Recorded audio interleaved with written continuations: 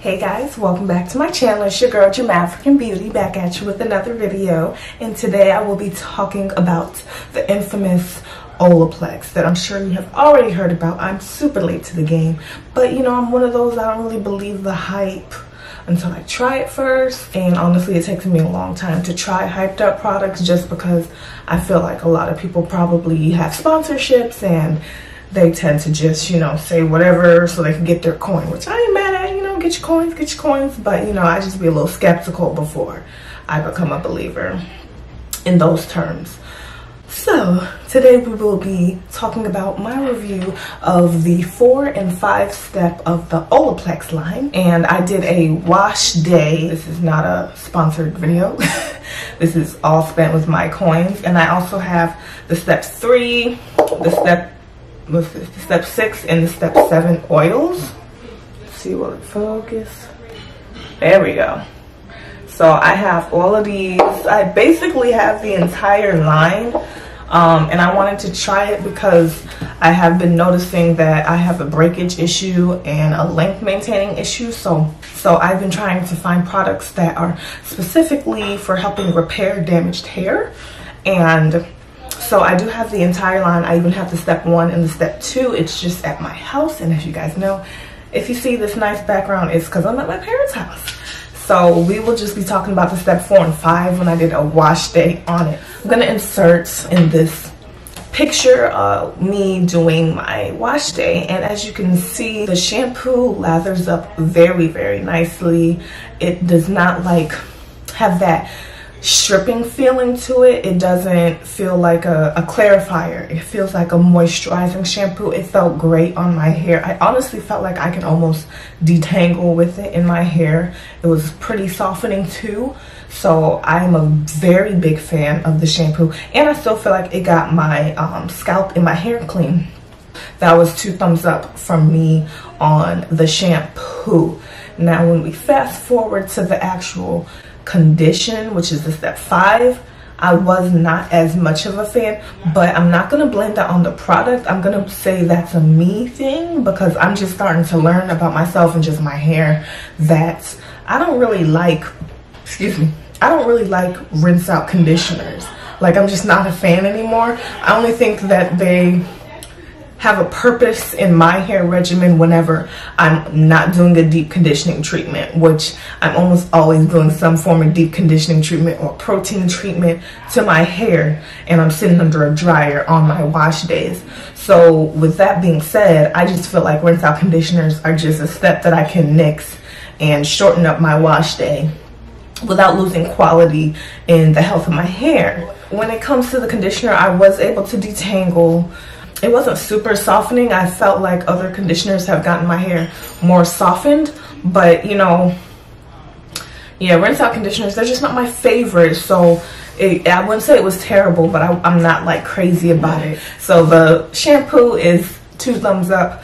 The conditioner, it was okay. I'd probably give it like a six, seven out of 10. Anyway, so that is my little quick review on the step four and five. I am going to continue this video and show you how the step three, the step six, and the step seven work in my hair. The three might be a video on its own because obviously I already did the wash day. This is supposed to be like the pre-poo. I would consider it a pre-poo. It says that it repairs and strengthens and strengthens all hair types. And it's not a shampoo and it's not a conditioner. It says not a conditioner, not in all caps.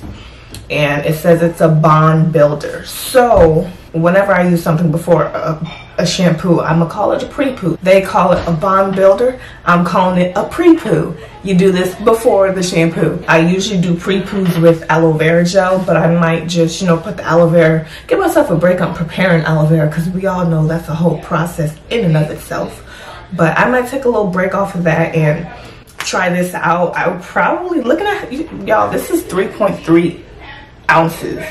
So I feel like I will probably get maybe two maybe three uses out of that little nega nega thing. I'll give myself a break and you know once the bottle is out I'll let y'all know like if I really did feel like my hair was soft and strengthened or I guess strengthened it doesn't because it says it's not a conditioner so and we're supposed to do it use one time per week for damaged hair two to three times per week well, Dad, two to three. Don't nobody got the coins to be doing it two to three times per week.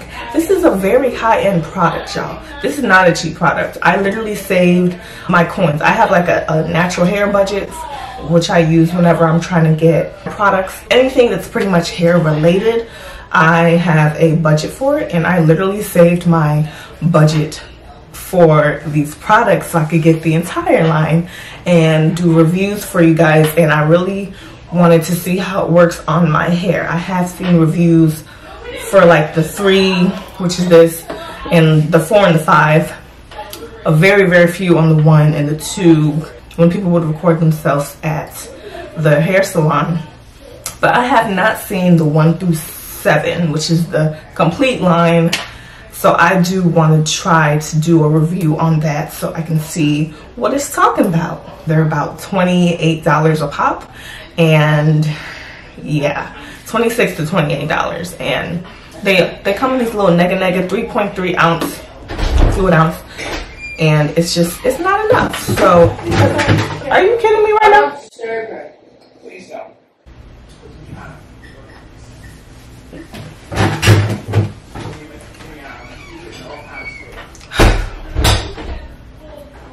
Anyways so I will let you guys know how that goes. Just continue watching and I will continue to use these products until they're empty and I will do a follow-up on it and let you guys know if I really notice a difference in my hair. Usually I try a product for three months, but I'm gonna try it until it runs out and hope that's good enough.